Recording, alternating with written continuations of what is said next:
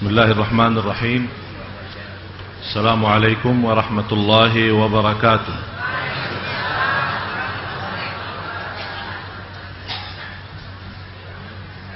Saya mohon semua berdiri.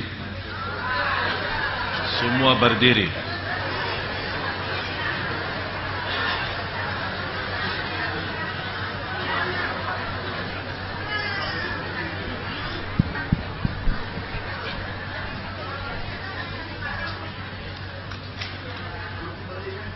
Sambil ini apa kumpulin?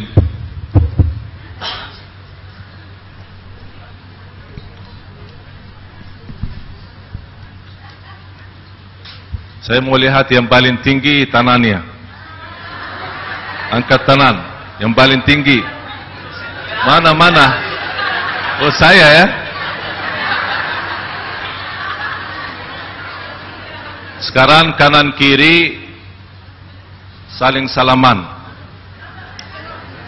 Bagi kesenyuman Dan minta maaf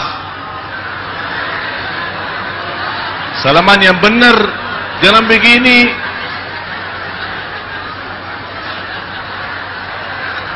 Ayo bapak-bapak saling salaman. Jangan hanya ibu-ibu.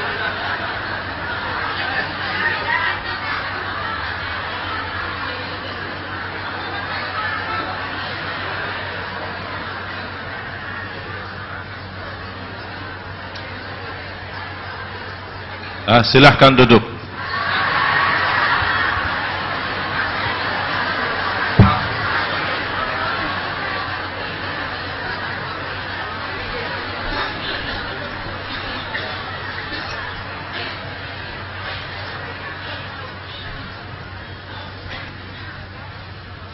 Soalnya ada yang dari semalam duduk. Jadi sekarang lumayan segar ya. Semestinya jam 7.15 saya mulai. Sekarang jam 8 kurang 5 waktu saya sampai setengah 9 berarti 35 minit.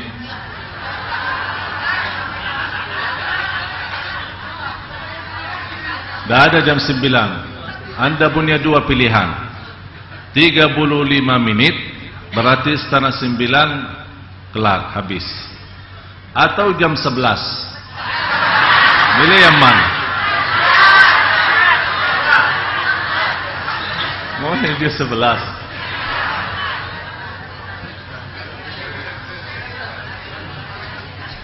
Alhamdulillahi Rabbil Alamin وأشهد أن لا إله إلا الله وحده لا شريك له ولي الصالحين. وأشهد أن سيدنا ونبينا محمدا عبد الله ورسوله الصادق الأمين. اللهم صل وسلم وبارك على سيدنا محمد وعلى آله وصحبه ومن تبعهم بإحسان إلى يوم الدين. سبحانك لا علم لنا إلا ما علمتنا إنك أنت العليم الحكيم. Maha suci Allah Saya tidak memiliki ilmu apa-apa Hanya saja apa yang diberikan oleh Allah subhanahu wa ta'ala. Segala sesuatu yang kita miliki sebenarnya milik Allah. Oleh karena itu jangan anda sedih atas kehilangan dan kekurangan sesuatu karena semuanya dari Allah dan kembali kepada Allah. La haula wa la quwata illa billahi al-aliyyi al-azim.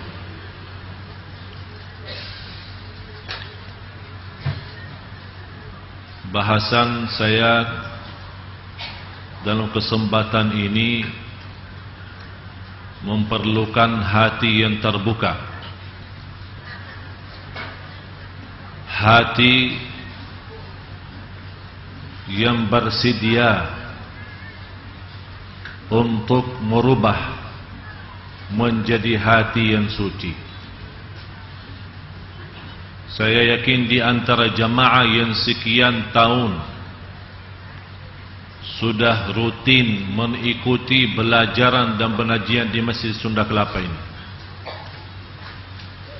Tapi apakah kita pernah bertanya diri bagaimana sikap dan perubahan akhlak kita sesudah sekian lama kita belajar dari bermacam ulama dan bermacam guru dan ustaz. Allah tidak melihat bapa ibu sudah sekian lama di Masjid Sunda Kelapa. Tapi Allah melihat intinya dan buktinya apa. Apa yang kita amalkan.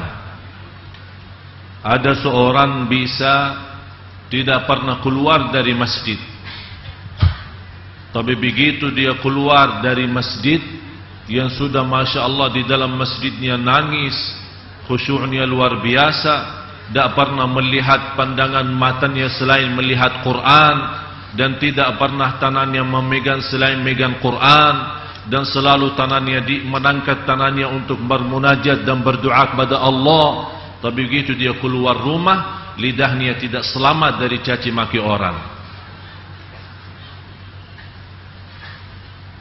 Dan tangannya selalu terlipat dalam menanamkan fitnah dan permusuhan berarti ibadah itu sia-sia. Tidak ada gunanya dan tidak ada artinya.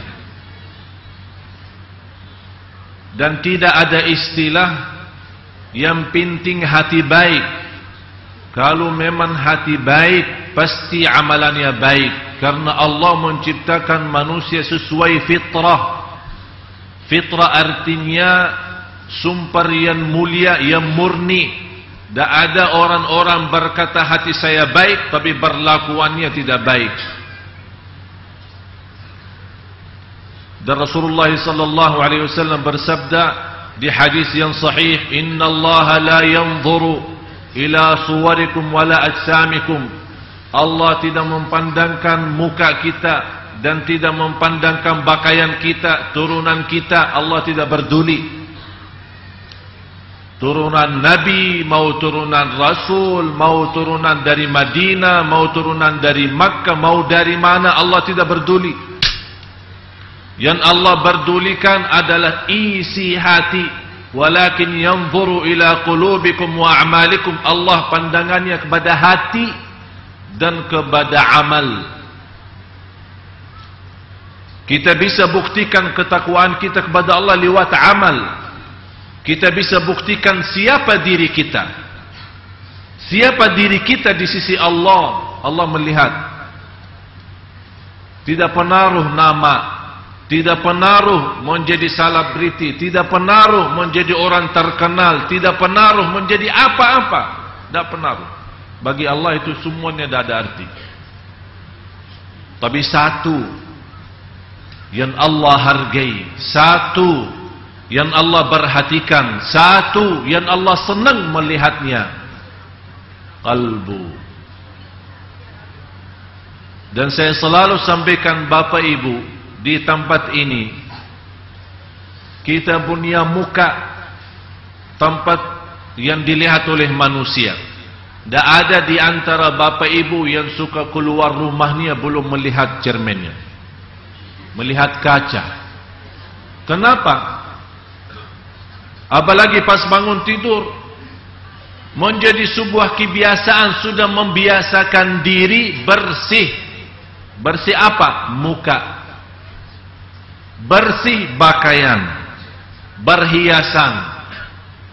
Apalagi kalau hari Jumat apalagi kalau khususnya ibu-ibu yang datang majlis ta'lim dengan satu seragam dengan satu pakaian malah ada yang misal hari ini putih besoknya merah lusanya biru. Bermacam hari-hari beda-beda. Ini sakit semangatnya tapi sayang sekali kalau bersatu pakaian bersih muka tapi kacau hati. Fantas ternyata Allah tidak menerima doa kita karena kita berdiri di satu saf yang begitu teratur, tersusun, rapi. Tapi karena hati kita tidak bersatu, tidak bersama, tidak saling cintai, saling memaafkan dan saling menutupi aib yang lain. Ini ini salah satu dosa besar membuka aib orang lain. Malam bukan hanya membuka aib orang lain, malah bisa menjadi orang yang men membangunkan fitnah Padahal Rasulullah SAW bersabda, dilaknati Allah yang fitnah sudah dibadamkan dan sudah tidur, malah dia bangkitkan dan dibangunkan. Itu dilaknati Allah SWT. Jadi dia bukan berusaha menutupi aib orang, tidak berusaha membadamkan fitnah, malah dia menibarkan fitnah itu. Berarti jamaah sekalian sayang ibadah kita yang sudah haji berapa kali, yang sudah umrah berapa kali, puasa Isnin Kamis, apalagi jemaah Sunda Kelapa, rutin puasa Isnin Kamis. Sudah menjadi wajib. Malah sebagian ulama membolehkan membolehkan orang yang suka rutin puasa sunnah kemudian satu hari dia sakit tidak mampu boleh qada boleh diqadha misal hari Senin kita suka puasa hari Senin rutin sudah sekian lama sudah menjadi sebuah kebiasaan saking kita berduli sunnah tapi ternyata hari Senin itu kita lagi sakit. Boleh diganti hari Selasa. Itu saking apa? Sampai ulama membolehkan hal itu saking ulama melihat penghargaan kita terhadap sunnah Rasulullah SAW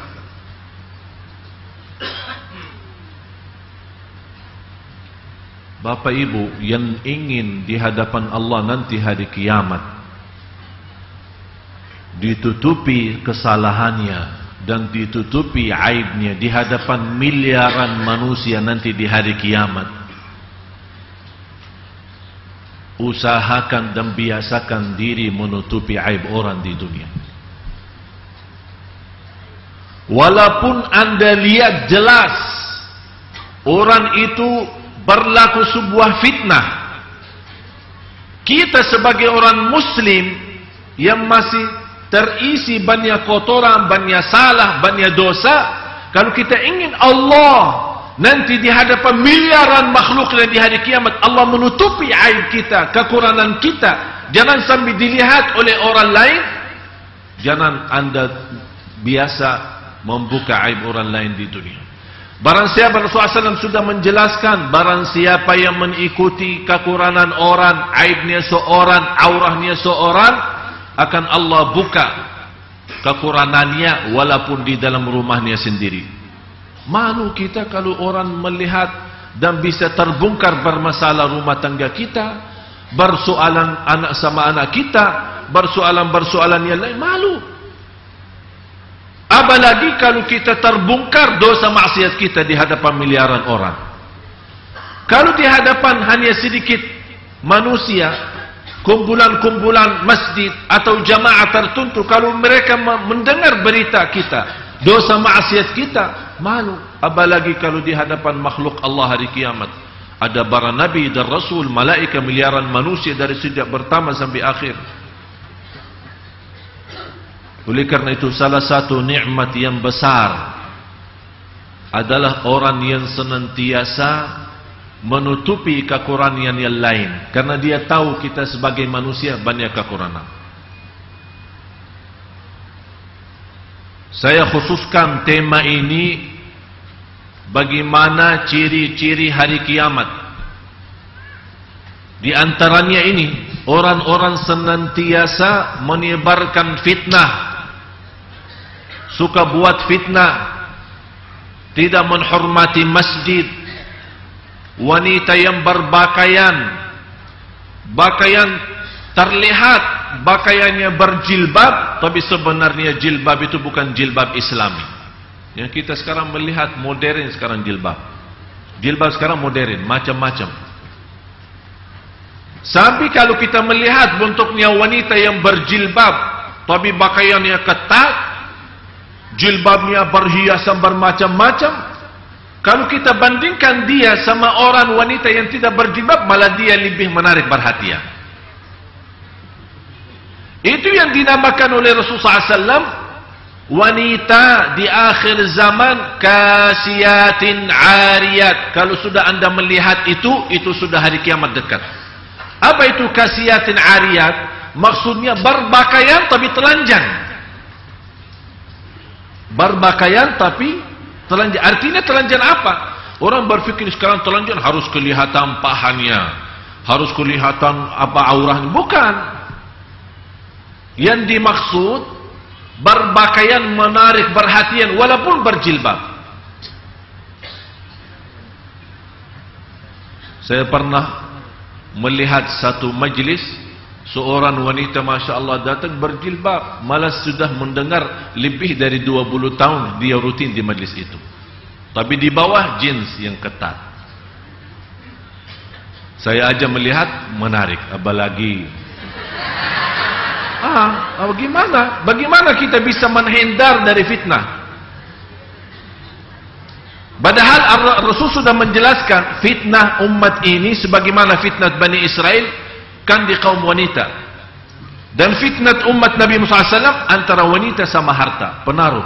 Fitnah. Bisa merubah agama kita. Dan ayat yang paling terakhir, sudah tidak ada ayat turun sudahnya itu, suratul Baqarah ayat 281. بعد أعوذ بالله من الشيطان الرجيم واتقوا يوما ترجعون فيه إلى الله ثم توفى كل نفس بما كسبت وهم لا يظلمون Ini ayat yang terakhir turunnya di Madinah. Ada surah yang terakhir turun. ada ayat yang terakhir. Kalau saya berkata surah, berarti surah lengkap. Sempurna. Dari awal sampai akhir. Sekaligus turun. Itu surat Iza Ja'a Nasrullahi Wal Fatih. Itu surah yang paling terakhir. Sempurna, lengkap dari awal sampai akhir. Turunnya sekaligus. Itu surat Iza Ja'a Nasrullah. Surat Al-Nasr. Ayat yang sesudah itu. Ayat yang paling terakhir turun adalah wattaqu yauman suratul baqarah saya ingin Bapak Ibu hafal ayat ini dan belajar artinya. Suratul baqarah ayat 281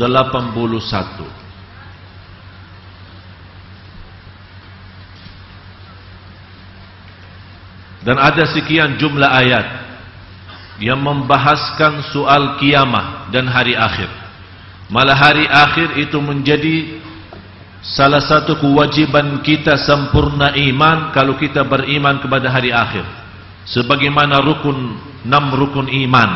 Antu'mina billah. Kemudian malaika. Yang ketiga kitab-kitab Allah. Yang keempat dan rasul-rasul Allah para rasul. Yang kelima hari akhir, hari kiamat. Kalau kita tidak beriman kepada hari kiamat berarti kita belum sempurna iman.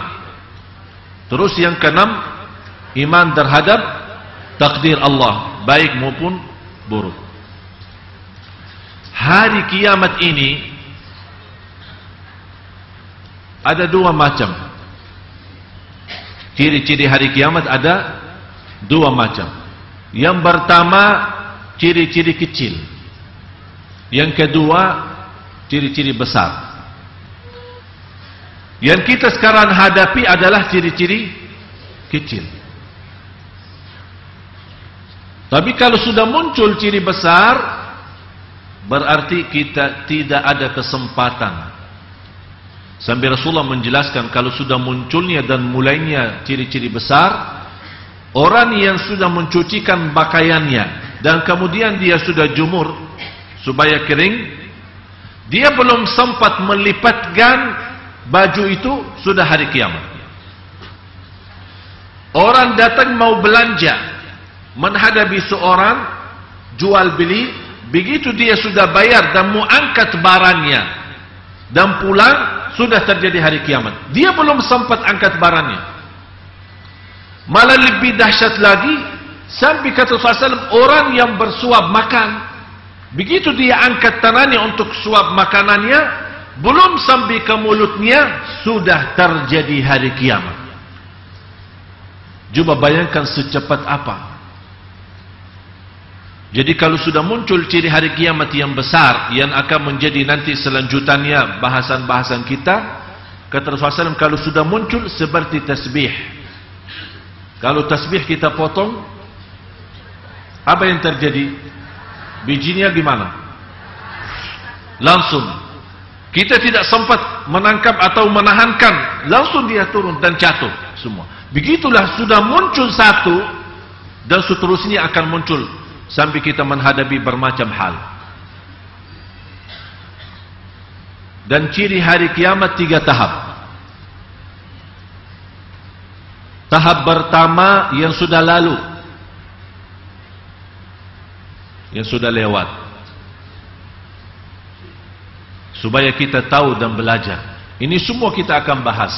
Ini hari pertama dan lanjutannya hari Rabu. Malam Kamis. Lanjutannya lagi seterusnya setiap malam malam Kamis. Hari Rabu, malam Kamis.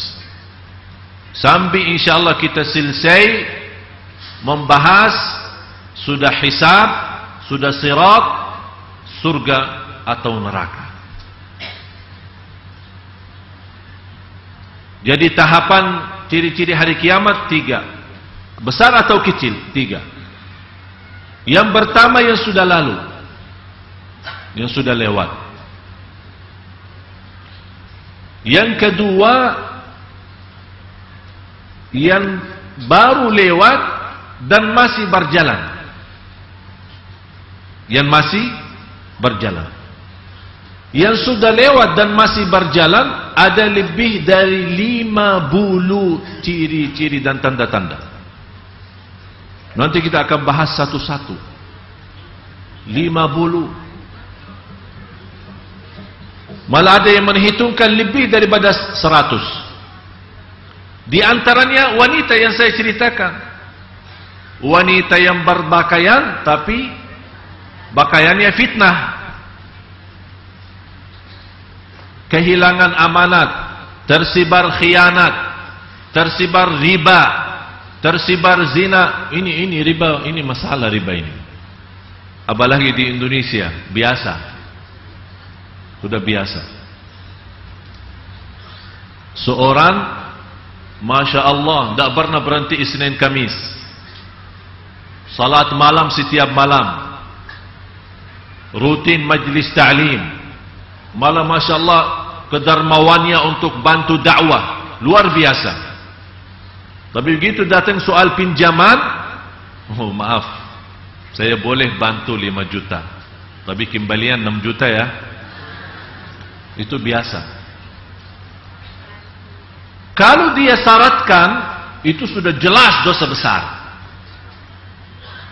Saya mau bantu 100 juta. Tapi nanti satu tahun kembali 120. Kalau telat satu bulan akan tambah bunga. Itu sudah jelas. Malah dosa itu, dosa riba semacam itu, di sisi Allah berzina dengan ibu, coba bayangkan, seorang berzina dengan ibu kandungnya sendiri, bukan orang lain, Orang berzina dengan ibu kandungnya sendiri Bagaimana? Ngeri ya Sampai 36 kali Ada yang bisa membayangkan? Bisa diterima? Orang berzina dengan ibu kandungnya sendiri 36 kali Masih lebih ringan daripada Satu dirham Satu uang sekecil apapun dari daripada hasil riba.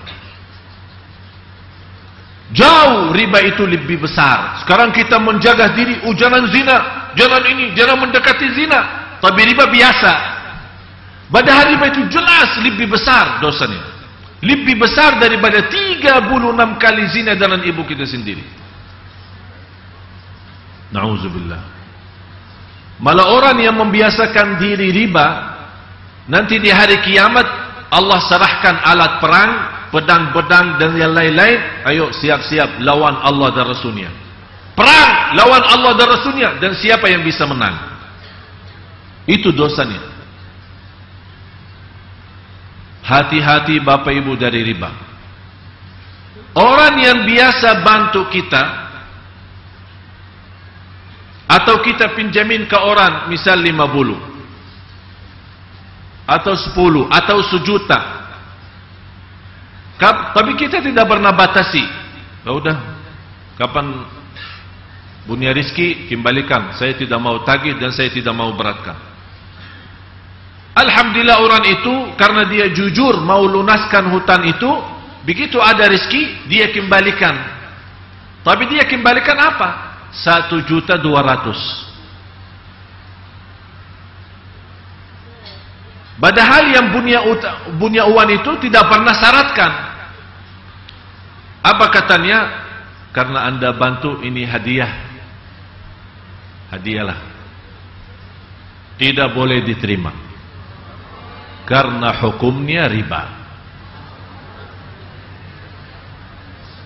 Apa lagi yang mensyaratkan? Kenapa hukumnya riba? Kira-kira apakah dia mau menhadiahkan tanpa pinjam? Apa yang membuat ada hadiah di sini? Pinjaman. Berarti sebabnya pinjaman ada hadiah. Itu namanya riba. Sebagaimana Rasulullah SAW bersabda, "Kullu qardin jarra naf'an fahuwa riba." Setiap hutang membawa manfaat, manfaatnya itu riba. Setiap hutang membawa manfaat, manfaat itu riba. Jadi bilang aja maaf, uang saya sejuta, kalau memang anda benar-benar ikhlas mau hadiahkan, sedekahin aja lah. Sedekahin ke sana. Ke masjid, muka ke mana, sajalah. Terserah. Kalau dia maksa kita terima, kita terima dan kita sedekahin. Jangan kita kumpulkan dengan harta kita. Bapak Ibu, soal harta yang menjadi juga ciri-ciri hari kiamat, kita tidak berduli sumber rizki kita dari mana. Kita terima apa aja. Ini menjadi juga ciri-ciri hari kiamat. Padahal soal harta, cuba bayangkan halalnya halal harta itu hisab. Allah jamaah sekalian, Allah Subhanahu wa taala bukan menhisabkan kita dengan harta yang haram. Allah tidak bakal tanya harta yang haram. Tapi yang akan Allah tanyakan terhadap harta yang yang halal. Dari mana dan dan ke mana? Terus harta yang haram apa? Bukan hisab, tapi azab. Kalau harta yang haram tidak perlu ditanya oleh Allah SWT. Karena sudah jelas haram, langsung Allah azabkan orang ini. Itulah keberatan harta. Di antara ciri-ciri hari kiamat banyak masjid sedikit jamaah. Kosong. Apalagi kita lihat salat subuh. Kalau salat subuh seperti salat Jumat baru berubah kehidupan umat Islam.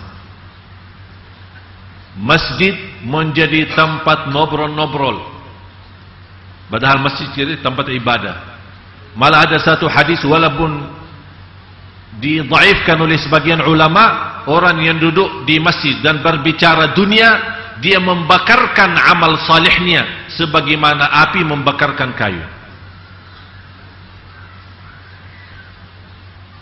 Apalagi ini ini hanya berbicara ngobrol saja urusan dunia. Urusan dunia mohon maaf Bapak Ibu biar tahu urusan berbicara dunia mubah bukan haram. Apa berbicara dunia?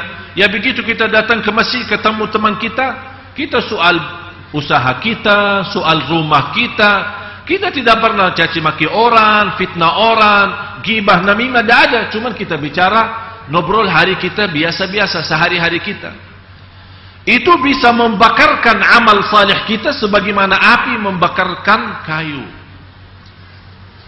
Terus bagaimana orang-orang yang datang ke masjid dan dia sebarkan fitnah dalam masjid. Kalau bicara mubah yang tidak berdosa bisa menghilangkan amal saleh kita, apalagi yang buat fitnah. Bapak Ibu, masa kota amal dijadikan tempat kirimkan surat simpan dalamnya. Becat ini, fitnah ini, orang ini tidak bagus. Kota amal. Kira-kira orang itu di saat itu dia sadar atau mabuk. Kalau dia mabuk berarti maafkan. Kalau dia orang mabuk atau orang gila, kita maafkan. Tapi dia kalau dewasa dan sengaja menggunakan kota amal yang menjadi tempatnya infak, seolah-olah kita saat menaruh harta dan rezeki kita di kota amal itu, seolah-olah kita menaruh sedekah kita di atas tanah Allah, masa kita taruh di atas tanah Allah fitnah? Karena Rasulullah SAW sudah menggambarkan orang-orang yang ber, memberi sedekah ikhlas jatuhnya di atas tangan Allah kata Rasulullah SAW dan Allah sendiri yang mempelihara sedekah itu. Sampai datang hari kiamat dia lihat dengan mata sendiri sedekahnya seperti gunung-gunung. Dan dia berkata ya Allah saya tidak pernah sedekah sebesar ini. Kata Allah subhanahu wa ta'ala memang tidak pernah sebesar ini tapi kamu ikhlas saat bersedekah aku besarkan aku pelihara, aku nanamkan sambil menjadi seperti itu. Itu namanya berkah rizki kita. Karena berkah tanda berkah salah satunya menambah. Termasuk sedekah kita. Ikhlas Allah kasih berkahnya. Walaupun sedikit, tapi kita lihat nanti di hari kiamat bagaimana sebesaran kemuliaan Allah untuk terhadap sedekah kita. Dosa bukan dosa kecil malah dosa besar kalau kita menjadi orang yang menyebarkan fitnah kalau anda punya sesuatu terhadap seorang ada aturannya ada sistemnya Islam pun menaturkan anda tidak senang contoh mohon maaf bapak ibu bapak ibu anda tidak senang sama Syekh Ali Jabir sebagai penceramah di Masjid Sunda Kelapa tapi Alhamdulillah semua senang kan? Alhamdulillah. Seandainya anda tidak senang.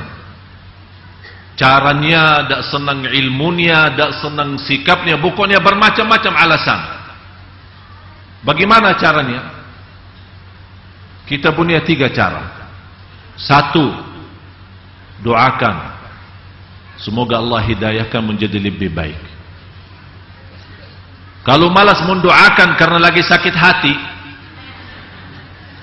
karena pernah mau lamar tapi tidak jadi. Misalnya, misalnya. Udah, tidak usah doakan. Yang kedua, tutupi aibnya. Kalau dah mau doakan, udah tutupi aibnya. Jangan anda menjadi orang yang menyebarkan kekurangan. Anda sendiri tidak senang, udah. Tapi ternyata juga anda tidak mampu karena keterlaluan si Ali ini berlebih-lebihan sombong udah bunyi tahap yang ketiga laporkan dengan cara yang benar ini masjid milik milik siapa? Bukan baksa kok orang bicara baksa. Milik Allah. Jadi kalau ada sesuatu aturkan tertib. Karena kita tidak mau ada dosa di masjid kita di masjid Allah. Karena kita yang merutinkan makmurkan di masjid di rumah Allah ini karena kita juga punya keinginan ya Allah sebagaimana saya rutin di masjid dan di rumahmu yang ada di Jakarta saya ingin diundang di rumahmu yang terbesar Masjidul Haram jadi niat kita kalau kita i'tikaf di sini rutin salat di sini, buka puasa di sini, ikut majlis ta'lim di sini. Harus ada niat, ya Allah saya ingin majlis ta'lim saya nanti di rumah yang terbesar di dunia ini, Ka'bah sana. Jadi selalu ada niat seperti itu. Kalau anda tidak mau terhindar dari rumah yang terbesar atau dipecat dari undangan di rumah yang terbesar di istana Allah Ka'bah, jangan macam-macam di rumah Allah yang kecil ini. Kalau kita mau Allah mengundang kita, kita jaga rumah Allah yang ini.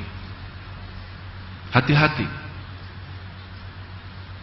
Jadi ada sistemnya, ada aturannya. Ada beberapa ibu-ibu, bapak-bapak tak senang sama seorang tertentu.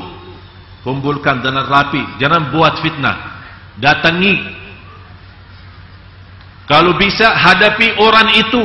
Kalau anda punya betul-betul ikhlas mau berbaiki nasihatin dia kalau dia tidak ada sikap dan tidak ada respon menerima nasihat laporkan kepada yang tanggungjawab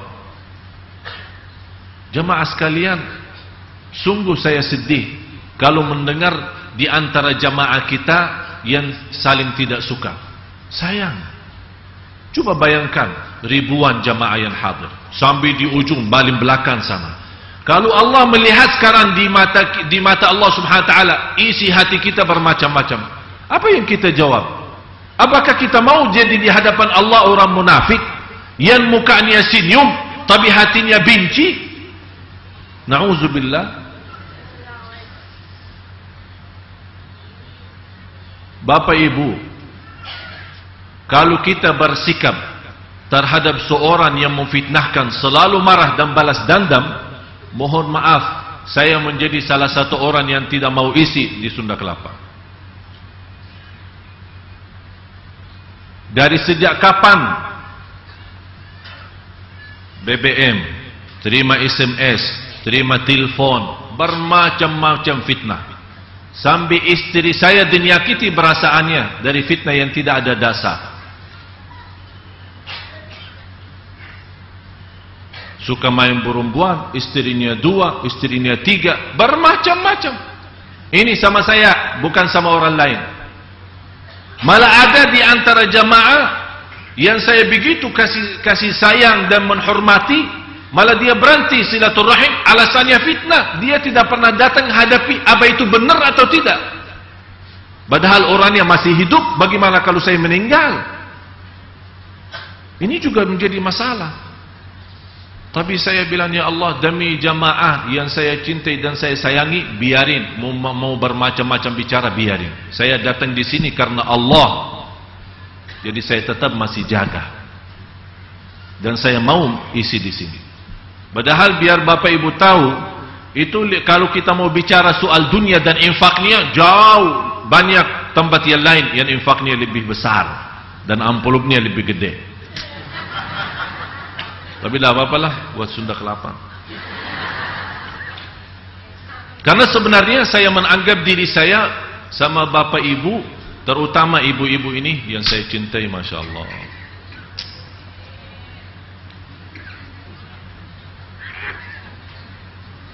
Mudah-mudahan saya dan ibu-ibu ini masuk surga bersama Rasul. Bapak-bapak juga lah, jangan marah.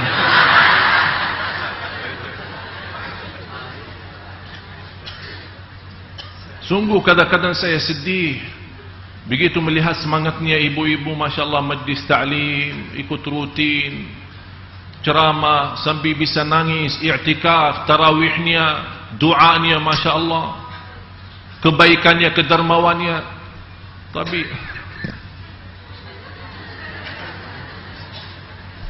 Ini Penaruh Malah ada orang yang tidak punya kerjaan hanya bikin fitnah aja. Padahal ada seorang ibu saya kenal baik, masya Allah luar biasa. Tapi saking dikumpul sama orang, info-info yang tidak benar fitnah, lama-lama dia berhenti. Saya bilang, ah ibu kenapa? Tak ada lah, malas malas. Hah? Ada apa? Itu coba bayangkan saking saya berduli sama ibu-ibu. Karena bagi saya sangat sedih kalau ada seorang ibu terputus tidak mau berhubungan lagi sebabnya fitnah padahal semestinya kalau memang benar ikhlas saling cinta dan saling sayang datang hadapi orangnya kalau ada sesuatu yang tersimpan dalam hati kita kita bongkarkan supaya kita besok meninggal dunia tidak ada titik hitam di hati kita sama siapa-siapa Mohon maaf Bapak Ibu, saya bukan berbicara kekurangan kita. Semua kita semua sama punya kekurangan. Sungguh Bapak Ibu, kalau saya tidak berduli dan cinta saya kepada Bapak Ibu, saya tidak mau nasihati dan saya tidak mau bicara. Terserah mau surga mau neraka bukan urusan. Tapi tidak, saya berduli. Saya tidak mau di antara Bapak Ibu yang terbakar mukanya di neraka jahannam. Saya tidak mau di antara bapak ibu yang tersuntuh dari neraka jahanam. Malah saya ingin dalam penuh harapan kepada Allah dan syafaat Nabi Muhammad SAW semua bapa ibu digembirakan, dan dimuliakan oleh Allah masuk surga bersama Rasulullah SAW itu yang saya selalu jaga doa setiap malam waktu saya salat sambil waktu saya haji dan waktu saya umrah dan tawaf Alhamdulillah setahu saya Allah mahu tahu. Saya bukan bicara ria tapi Allah mahu tahu bagaimana saya selalu mendoakan jamaah khususnya Sunda Kelapa.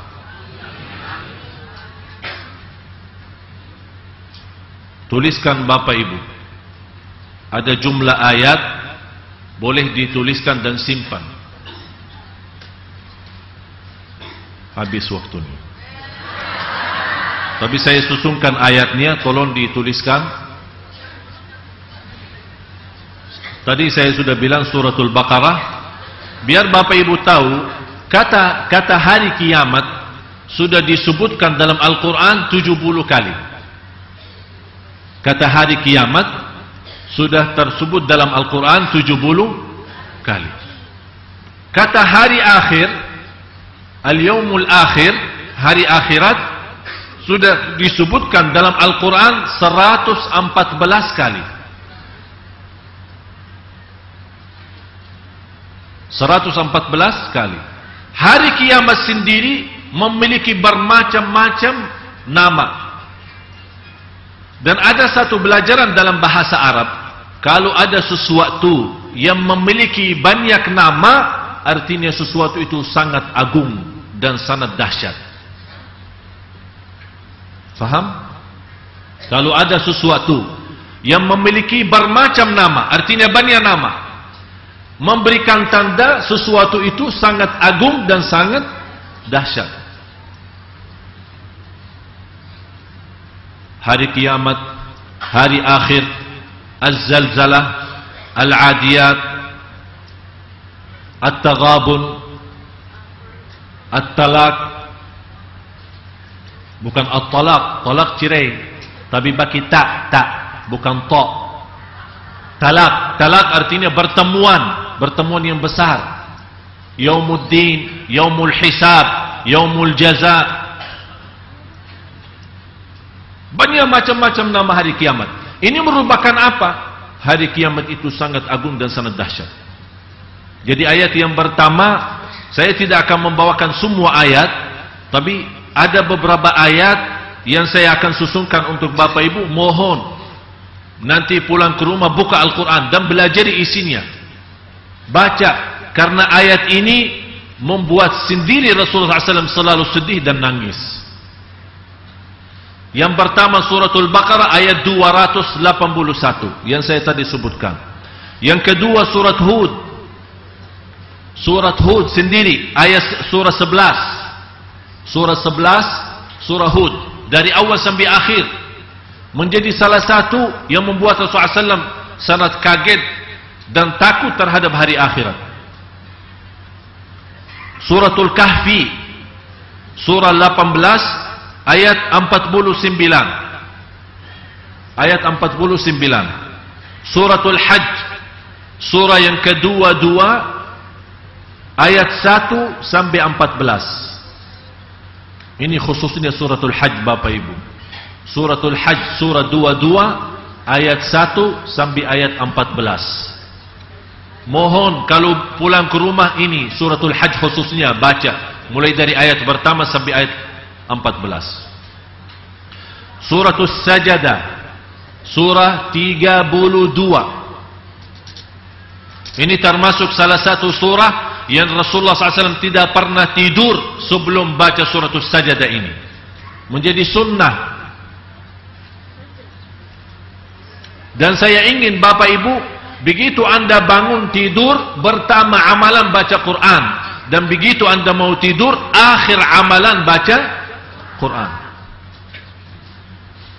Surah 32 surah As-Sajdah. Kemudian surah 41. Surah 41 ayat 21. Surah 41 Fussilat ayat 21. Surah 43 ayat 44. 43 ayat 44 Surah 50 Surat Qaf Ini juga termasuk salah satu surah Seingat saya Waktu saya hafal Al-Quran Pertama surah yang saya hafal Surat Qaf ini. Sangat luar biasa isinya. Surah 52 52 dari ayat 1 sampai ayat 14 Surah 75 75 Suratul Qiyamah dan surah 81 kalau saya tidak sebut ayatnya berarti surah lengkap dari awal sampai akhir. Kalau saya tidak sebut ayatnya berarti anda punya tugas mempelajari artinya dari awal sampai akhir. Bapak Ibu, kalau setiap hari kita khususkan, ini kan banyak ayat kan? Kalau kita setiap hari ambil satu-satunya, satu bersatu, satu bersatu, insya Allah tidak lewat dua minggu sudah kita menerti apa isinya. Cuman kita melihat, oh terlalu banyak malas tak usah fikirkan banyaknya tapi mulai dari langkah pertama satu demi satu walaupun setiap hari satu ayat termasuk suratul qiyamah yang jumlahnya sekian 40 lebih kalau kita mau belajar artinya tak usah mengambil satu surah semua. Ambil satu ayat setiap hari satu ayat setiap hari. Apalagi kalau kita sudah menhayati bacakan di salat sunnah qabliyah ba'diyah kita. Bacakan di salat duha kita. Bacakan di salat malam kita. Walaupun satu ayat la uqsimu biyaumil qiyamah. Allahu akbar. Benar karena inti bacaan apa? Bukan banyak baca tapi intinya tersuntuh dan terharu hati kita saat kita baca. Walaupun satu ayat. Terus surah 81 sama 82 81 sama 82 yang terakhir surah 99 dan surah 100. Az-Zalzalah sama Al-Adiyah. 99 sama 100. Saya sebagaimana jelaskan tadi banyak ayat yang saya tadi sudah sebutkan kata hari akhirat saja disebut dalam Al-Quran 114 kali kata hari kiamat saja disebutkan dalam Al-Quran 70 kali. Kalau kita hitungkan jumlah ayat yang tadi saya sampaikan, tidak sampai sejumlah itu. Cuma saya khususkan ayat ini, karena memang ayat yang saya bawakan ini, yang membuat Rasulullah SAW sedih dan nangis. Biar kita sama-sama belajar. Dan doa Bapak Ibu mudah-mudahan ada buku kecil yang insyaAllah secepatnya diterbitkan dengan dua tema atau dua judul hal-hal yang membuat Rasulullah senyum dan hal-hal yang membuat Rasulullah nangis. Kapan Rasulullah suka nangis dan di mana nangis? Kenapa nangis? Itu terkumpul dalam satu buku kecil. Sederhana bisa bawa kemana-mana.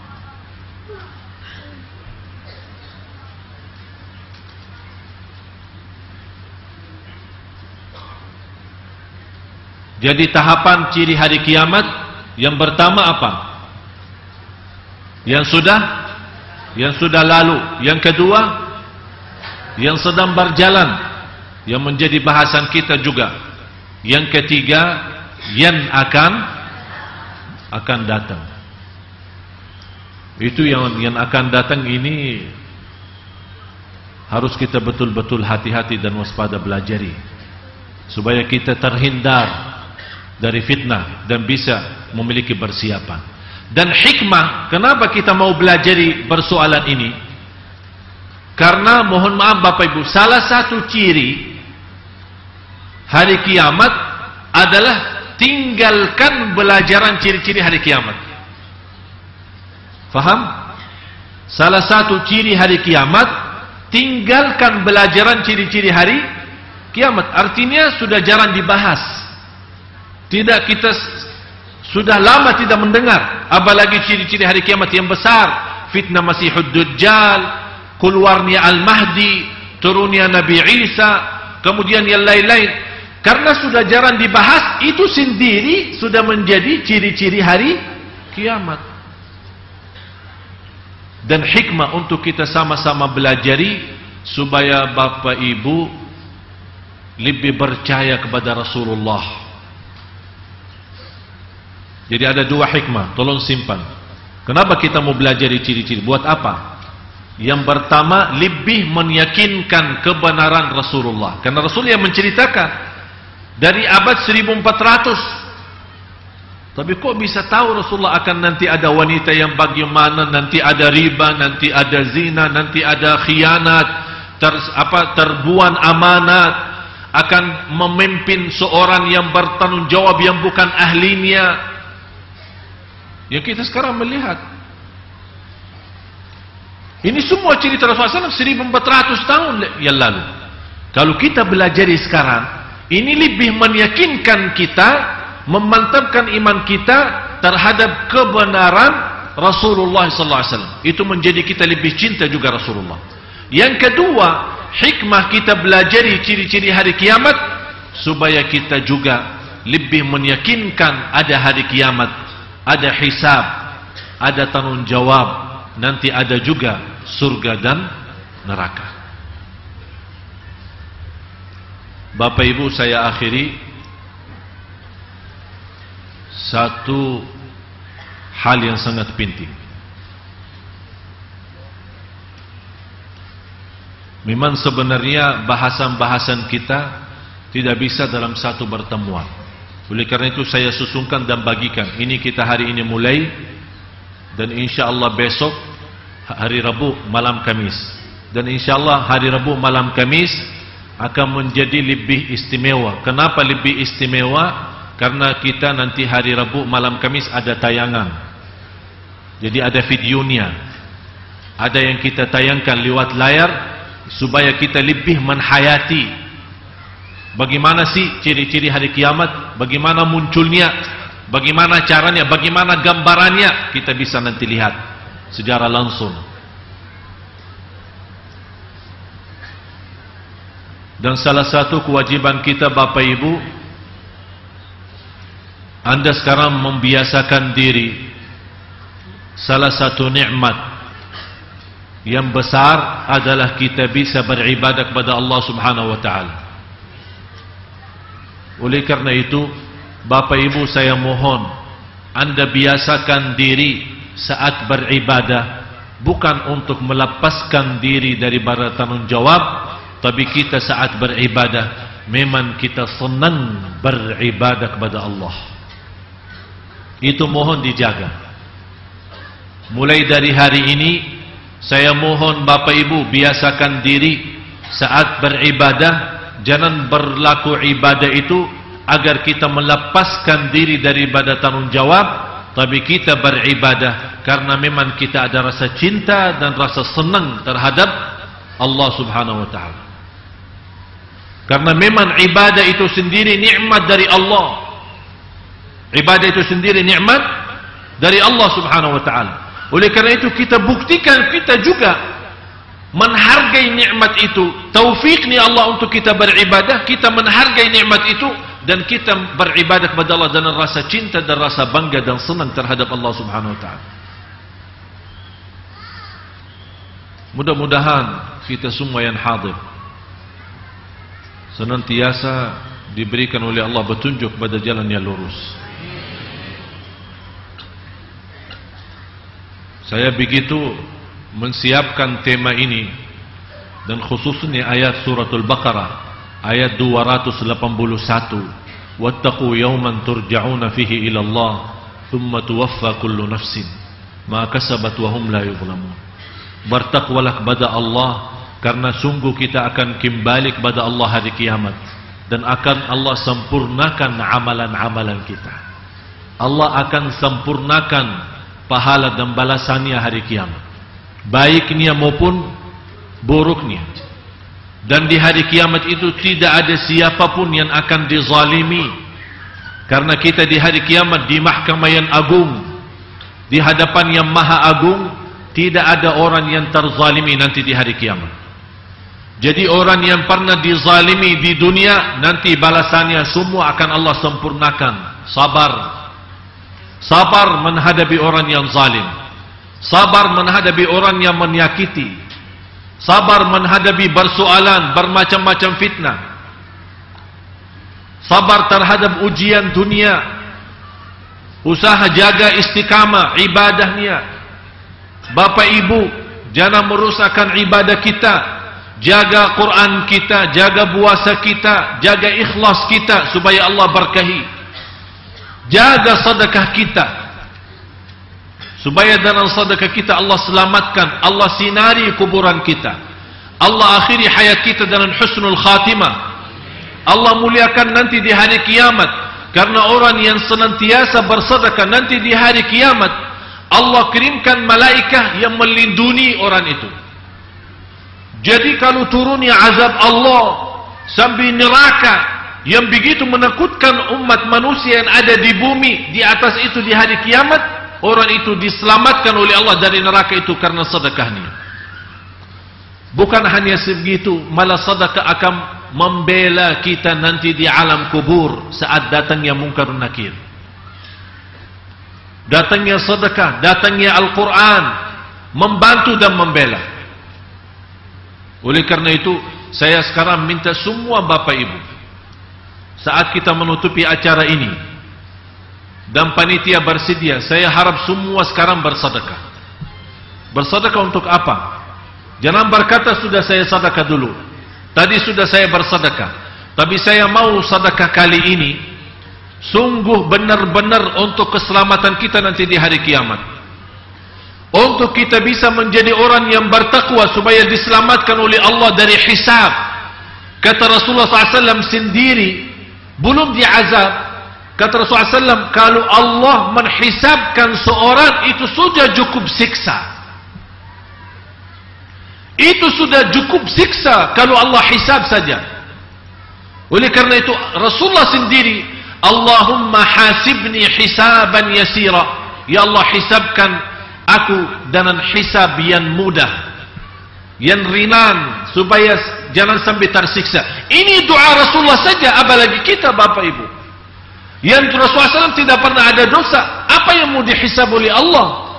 Apalagi kita yang setiap hari tidak terlepas dari dosa dan maksiat. Yang sengaja maupun tidak sengaja dosa mata, dosa lidah, dosa bermacam-macam. Dosa lahir dan batin. Siapa yang mampu menghadapi Allah dengan hisabnya oleh karena itu, demi Allah mudahkan hisab kita nanti di hari kiamat. Demi Allah ampuni dosa kita. Demi Allah subhanahu wa ta'ala menutupi aib kita. Demi Allah menerima amal ibadah kita walaupun belum sempurna. Mudah-mudahan dengan sedekah Bapak Ibu sekarang Allah subhanahu wa ta'ala buka pintu surga untuk kita seluas-luasnya. Supaya dengan mudah kita masuk surga. Dengan mudah kita berjalan di atas sirat dan juga dengan mudah kita selamat dari siksa neraka jahannam. Amin ya rabbal alamin. Mana panitia? Panitia tolong Tolong dibantu yang bawa bungkus-bungkus Bungkusan yang di depan Ibu-ibu Bapak-bapak Sekali lagi saya mohon saat Bapak Ibu sekarang bersedekah, bayangkan beristiwa hari kiamat. Bayangkan apa yang kita nanti hadapi di hari kiamat.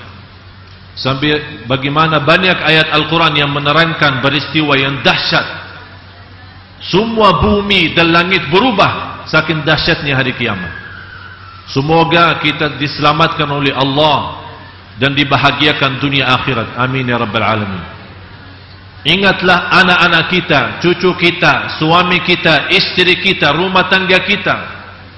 Supaya semua diselamatkan oleh Allah nanti di hari kiamat. Mudah-mudahan dengan sadaqah yang ikhlas kali ini. Mudah-mudahan Allah merubah kehidupan kita menjadi lebih baik. Lebih ma'mur. Lebih lancar. Lebih bahagia. Sakinah mawaddah rahmah. Terhindar dari segala fitnah. Terhindar dari segala bala dan musibah dan mudah-mudahan senantiasa mendapatkan pimpinan dan taufiknya Allah Subhanahu wa taala. Bapak-bapak, saya mohon juga ikut bersedekah. Segala kemampuan dan aktivitas kita sebanjan ada di Sunda Kelapa semuanya untuk umat dan semuanya untuk bapak ibu. Supaya kita benar-benar kita buktikan keikhlasan kita. Bisa jadi banyak kekurangan kita dalam hal ibadah tapi mudah-mudahan dengan ikhlas kita saat bersedekah Allah sempurnakan amal kita semua dan saya punya satu prinsip lebih baik sedekah yang banyak tapi ikhlas daripada sedikit tidak.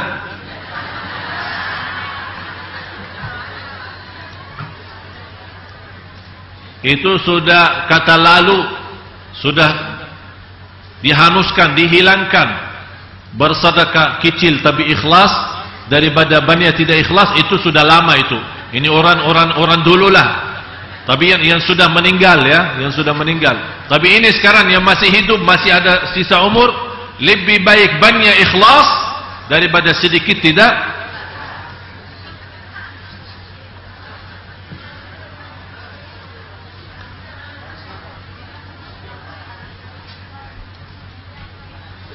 Saya mohon Bapak Ibu kali ini tidak ada yang keluar dari masjid sambil benar-benar sudah bersedekah.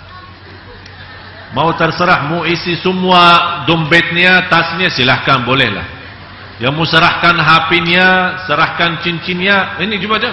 Bu, bu, bu, bu, angkat tangan. Angkat. Eh. Masya Allah, banyak masnya juga ya. Jangan keluar dulu.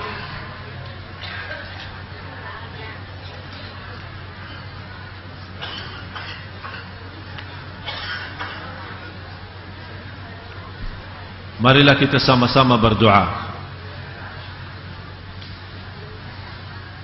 Semoga doa kita Allah Maha tahu. Saya mohon Bapak Ibu kalau saya berdoa di tanah doa saya akan berhenti sebentar memberikan kesempatan Bapak Ibu memohon kepada Allah dengan apa isi hati kita. Apa hajat kita lahir batin.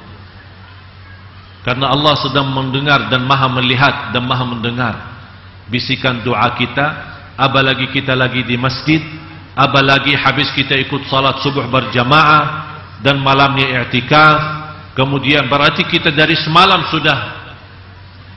Inilah salah satu kemuliaan orang yang duduk di tempat masjid beribadah seterus-terusnya berjam-jam. Itu luar biasa istimewaan doanya dikabulkan oleh Allah subhanahu wa ta'ala Marilah sama-sama berdoa.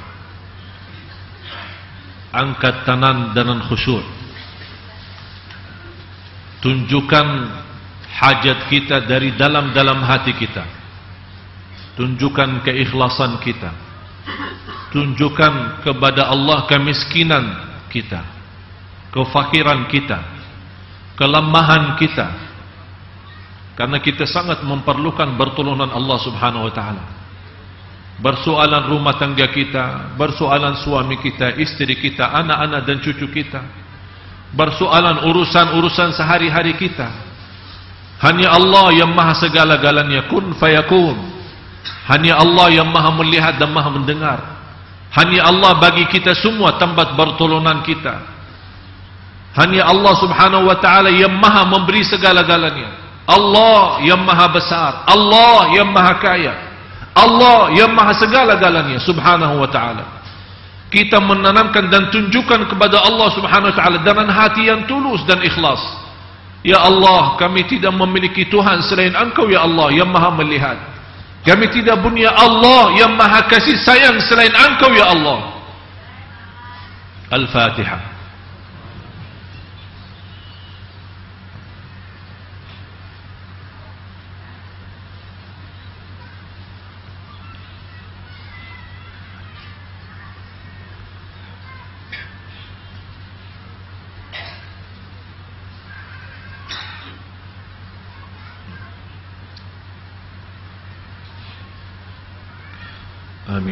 بسم الله الرحمن الرحيم. الحمد لله رب العالمين. يا ربنا لك الحمد على نعمة الإسلام. يا رب لك الحمد على نعمة الإيمان. يا الله كم يبر شكرك كبادة عنك ويا الله ترهد بنعمة الإسلام كم يبر شكر ترهد بمو يا الله أتس نعمة إيمان Kami bersyukur terhadapmu Ya Allah Atas nikmat lancarnya ibadah Kami bersyukur kepadamu Ya Allah terhadap nikmat i'tikaf Terhadap nikmat kita ikut sama-sama belajar ilmu yang bermanfaat Kami bersyukur kepadamu Ya Allah atas taufikmu terhadap kami kami bersyukur kepada Allah atas umur yang engkau berikan kepada kami. Kami bersyukur kepadamu ya Allah atas dan nikmat sihat wal afiat. Ya Allah, ya Arhamar Rahimin, sempurnakan segala nikmatmu terhadap kami. Nikmat lahir dan nikmat batin. Ya Allah, ya Arhamar Rahimin, Engkau maha menciptakan kami. Engkau maha tahu bersoalan kami. Engkau maha mengetahui hajat kami lahir dan batin Apa isi dan bisikan hati kami Ya Allah Aku mohon dalam namamu yang agung yang mulia يا حي يا قيوم يا حي يا قيوم يا لطيف يا خبير يا سميع يا بصير يا أول يا آخر يا ظاهر يا باطن يا علي يا عظيم يا رحمن يا رحيم يا عزيز يا حكيم أنت الملك لا شريك لك لبيك لا شريك لك لبيك لا شريك لك لبيك لك الحمد Labbaik ya Allah Kami hamba-hambamu. Aku mohon untuk semua yang hadir di saat ini Bapak Ibu. Bersihkan hatinya, sucikan jiwanya. Ampuni segala dosanya ya Allah. Dosa lidah kami Dosa mata kami, dosa tangan kami, dosa kaki kami Maupun dosa batin kami ya Allah Allah.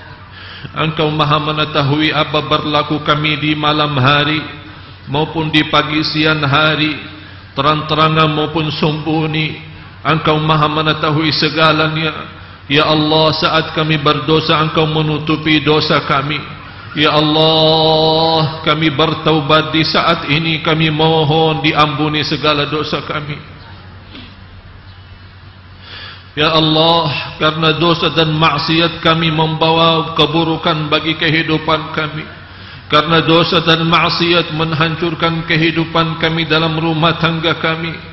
Ya Allah dosa dan maksiat membawa keburukan terhadap anak dan cucu kami.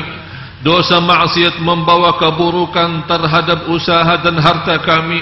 Ya Allah, jauhkan kami dari keburukan dosa maksiat ya Allah dan gantikan dengan berkahnya iman dan amal salih kami ya Allah supaya kami hidup bahagia dan selamat dunia akhirat ya rabbal alamin. Ya Allah, Engkau Maha Kasih Sayang. Engkau lebih maha kasih sayang daripada ibu kami Yang segitu kami cinta ibu kami Karena ibu kami senantiasa kasih sayang kepada kami Engkau lebih jauh maha kasih sayang Dan sungguh kami sangat mencintaimu ya Allah Walaupun berlaku kami belum sesuai dalam perintahmu ya Allah Karena kami akui kesalahan dan kekurangan kami kami akui kebodohan kami terhadap agamamu. Kami akui kelemahan kami dalam hal ibadah. Kami akui kekurangan ikhlas kami. Karena kami ya Allah belum mendapatkan orang yang memimpin kami dengan benar.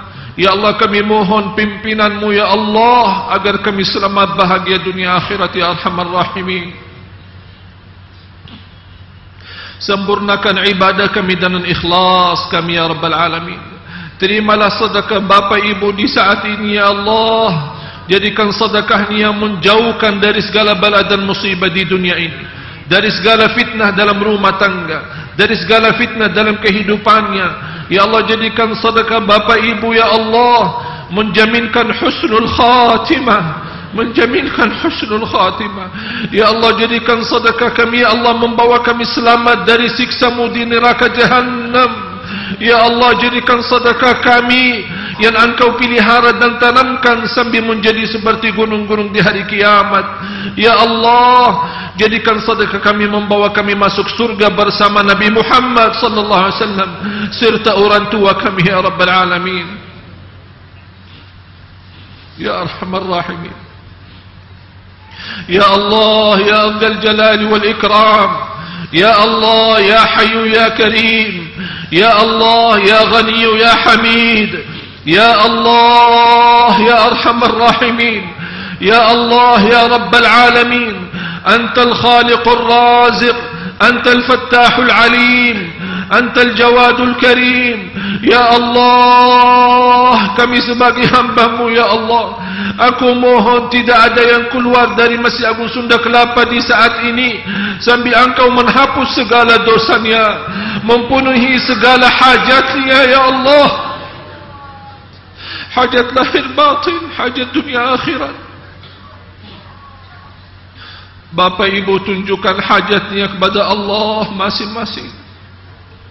Mohon hajatnya ya.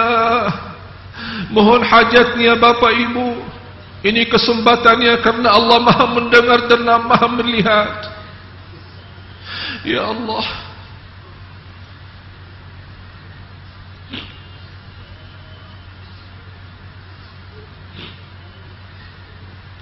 Ya Allah kami takut.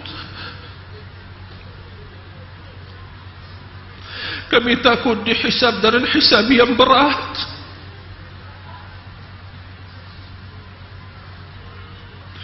Kami kami takut selama ini tidak diterima.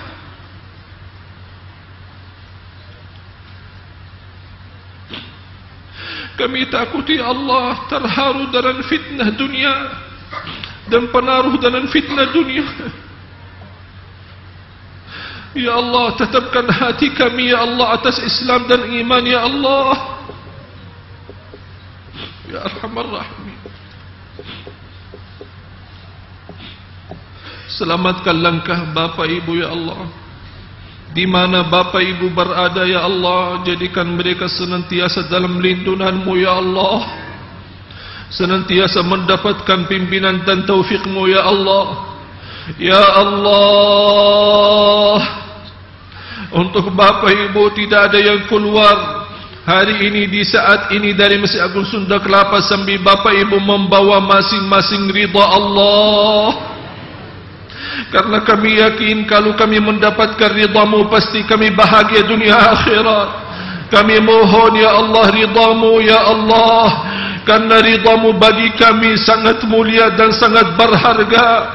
Ya Allah kami sangat memperdulikan ridamu. Ya Allah muliakan kami dari ridamu Ya Allah.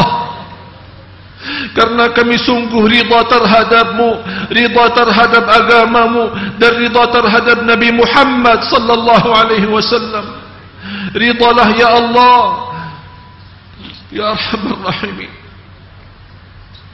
orang tua kami ya Allah. Orang tua kami ya Allah. Orang tua kami ya Allah. Kami sangat merindukan orang tua kami ya Allah. Kami akui banyak kekurangan kami terhadap orang tua kami ya Allah. Maafkan atas durhaka kami ya Allah Berapa kami berapa kali kami membuat orang tua kami sedih dan nangis. Berapa kali kami mau kecewakan perasaan dan hati orang tua kami. Ya Allah jadikan orang tua kami mulia di sisimu dunia akhirat. Balas segala kebaikan orang tua kami. Terimalah segala amal ibadah orang tua kami. Sinari kuburan orang tua kami. Ampuni segala dosa orang tua kami. Dan bertemukan lagi dengan orang tua kami di dalam surgamu ya Allah. Alhamdulillah Ya Allah. Di antara bapa ibu yang sakit sembuhkan penyakitnya sehatkan badannya. Di antara bapa ibu yang ingin ke tanah suci sampai saat ini belum mendapatkan rezeki. Ya Allah panjangkan umurnya, sihatkan badannya, murahkan rezekinya. Berilah kemudahan ke tanah suci, haji dan umrah dan ziarah Nabi Muhammad sallallahu alaihi wasallam. Ya Allah bagaimana engkau berikan kepada kami kemudahan berkumpul di masjid Agung Sunda Kelapa ini Ya Allah Berilah kepada kami kemuliaan Kumpul dan jumpa lagi di hadapan Kaabahmu Ya Allah Di hadapan Kaabahmu Ya Allah. Ya Arhamar Rahimin. Ampuni saudara kami muslimin muslimat muminin muminatin hidup maupun yang telah wafat. Ya Allah, rumah tangga kami. Rumah tangga kami. Engkau maha tahu apa isinya banyak persoalan yang kami hadapi. Persoalan suami, istri, anak dan cucu kami Ya Allah kami takut tergoda kedamaian dan sakinah rumah tangga kami Ya Allah kami mohon Ya Allah dengan kekuasaanmu dengan kasih sayangmu hidayahkan hati suami kami Ya Allah jauhkan suami kami dari segala keburukan dan dari segala godaan. Ya Allah hidayahkan istri kami. Hidayahkan anak dan cucu kami. Pilihara rumah tangga kami agar kami bisa bahagia dunia akhirat.